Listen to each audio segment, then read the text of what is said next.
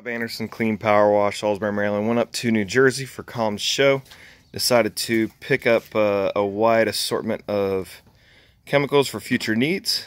We got a roof wash, um, which we'll be using a good bit this week. Rust X we've used before, and that works fantastic.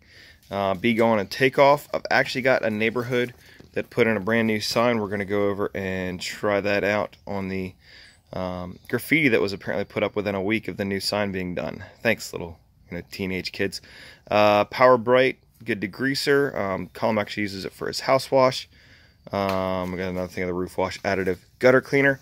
Um, that's what we use on oxidized gutters. Oxidized siding works great. And then the trash chute cleaner, we're going to use that.